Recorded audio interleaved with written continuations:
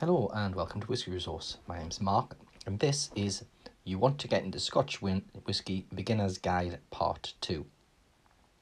So today I'm going to be briefly talking about how you actually get into drinking Scotch whisky. Now, quite often I see on the forums people talking about or asking questions as to what whisky would you advise that I drink? I'm new, new to, to whisky. I want to start drinking Scotch. Can you recommend a whisky? Invariably, people will recommend whiskies that they themselves like. Now, whilst there's nothing wrong with that, when you actually look at some of the examples of whiskies they mention, they tend to be um, whiskies that are quite impactful with their flavour, maybe because they're from Islay and they've got a lot of peat and smoke elements to it. Maybe it's because they're cask strength. Maybe it's because they're um, a sherry bomb and they have very overwhelming flavours. That's not to say that somebody new to Scotch whisky won't enjoy those straight away. It's just potentially going to be off-putting and actually push people away from drinking Scotch. You want to really be introduced to whiskies that are maybe um, less impactful with their flavour. That's going to introduce you to all that Scotch whisky has got to offer um, through um, taste and smell, but not with those bold, uh, quite aggressive flavours. So how do we begin? Well, you can stand in front of a supermarket and you can take a look at the offerings on the shelves there and you'll see a range of cask strength offerings maybe um, you'll be seeing some single malts there maybe you'll see some blended whiskies but what to go with, what to start with. Now, I'd recommend, because this is just my guidance, my input, it's not to say it's the right or wrong approach, but my guidance would be to start quite simple. And I would ignore, to start with, the um, blended whiskies, because they can have elements that can be quite um, off-putting to a beginner, can be quite aggressive and sharp, and um, you can you can go wrong, let's say, because there's quite a few there that uh, you may want to come back to later in your journey.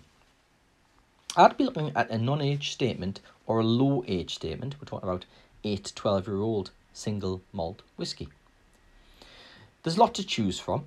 The approach I would probably take would be to look at the different whiskey regions. So we're talking about looking at um, the Highland whisky region, which would also include maybe Island as a separate category, Speyside certainly, Lowland whisky. And then you've got regions such as Islay or Campbeltown, and they can present their own little problem, but we'll come to that in a moment. There's no reason why you have to totally uh, omit them from your, your choices. Now, you can purchase a full bottle, and you'd be looking at anywhere between 20 and maybe 40 pounds for a bottle. But what if you taste it and you don't like it? Have you wasted that money?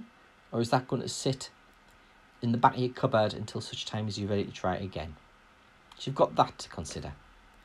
I'd probably look at building up a tasting pack. You can go to sites such as Master of Malt or the Whisky Exchange as examples, and you can purchase samples, 30 mil, millimeter samples of various whiskies, which correspond with maybe the beginner level of tasting and smelling. So you're looking at 30 ml samples, build up a pack of say five samples, you get to try each one and if one of them isn't your taste, well you've only got a small sample that you've you've kind of not enjoyed as opposed to possibly a full bottle that you've not enjoyed. Where to begin? What whiskies to look at? Well, if we concentrate on let's say um, the Highland and Speyside regions, there's quite a few to choose from. You could go for something like a Glenlivet Founders Reserve, a Glenlivet 12 year old. You could go for a Tomintoul 10 year old, which is a Highland whisky, or Glenmorangie 10 year old, or even a Glencadam 10. I wouldn't go be going above 46.3% ABV on your kind of beginner journey. And the reason I've been so specific as 46.3 is because that's the ABV that the Distell Group whiskies sit at. So we're talking about Tobermory 12, Deanston Virgin Oak or Deanston 12.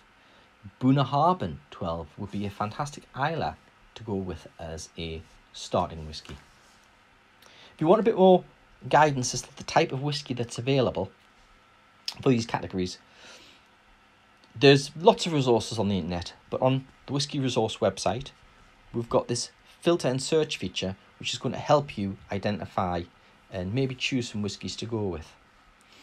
So to access that on this homepage, now we're using a mobile device here, but you'd be going and looking at clicking on those three lines that you see in the top right corner of the screen. On the desktop, the same icon is available, so you can utilize it on desktop as well. So we'll go ahead and click on that. And there we've got some various menu options. And the one we're looking at there is the word search database. If you were to click the plus, it would expand it and it'll give you more options. But we don't really want to do that at the moment. We're just going to be clicking on search database. So we'll click search database and that'll load the filter page for searching.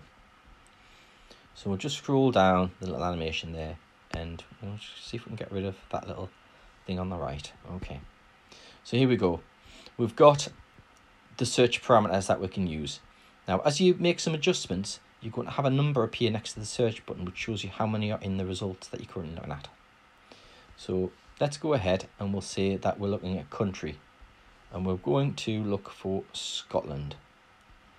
So you can see it's automatically done a little search there and it's come up with 189 entries for Scotland. Let's go for whisky experience level. And we're going to say that the experience level, we're a beginner. Now I've got 92 in the results. I wouldn't worry about chill filtration or colour at this point in time. Certainly wouldn't be looking at cask strength or single cask offerings. So let's go for regions. Let's say that we want to go with a Speyside. So we'll change the category to Speyside. We've got 45 results now. So at this point we can start considering things like the strength. So let's suppose we want to go with a 40% to a 43% ABV whiskey.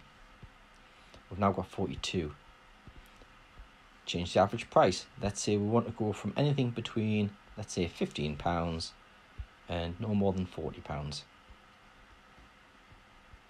We've got 24 in the results now. So let's go ahead and hit search. And that's going to list those whiskies. From here, you can continue to filter the results or you can click on the whiskey and you can actually go ahead and you can um, view the different whiskies in the list there. You can save the search by hitting the save search button there. You will need to create an account, log in to access this. Now at this moment in time, I've restricted the login, the, the registration feature, but if sufficient people want to be able to start saving their searches, by all means get in touch and I can look to have a account created for you. Let's just make some adjustments here just to tidy this up a bit. So for category, let's go for a single malt. And we'll do another search. So we're looking at 22 single malts in this list. Let's reduce the price. Let's see now we're looking at up to £30 search. We're down to two. So you can look at a Glenfarclas 8 year old or a Glenmorangie sherry cask finished whiskey. The Glenfarclas, unfortunately, is not readily available in the UK. Um, so we'll be looking more at a Glenmorangie, which I've just reviewed. Let's just make a further adjustment and we'll increase the price range there to 35 and we'll go to the region and we'll go back to select region option there. And we'll do another search. So now we've got 21 to work with which would include Highland whiskies lowland whiskies. So you can see how this particular site is going to help you identify whiskies that maybe you could build a tasting pack with. I hope this brief guide has been a help and please comment if you want to see more of these whiskey guide videos Thanks for watching.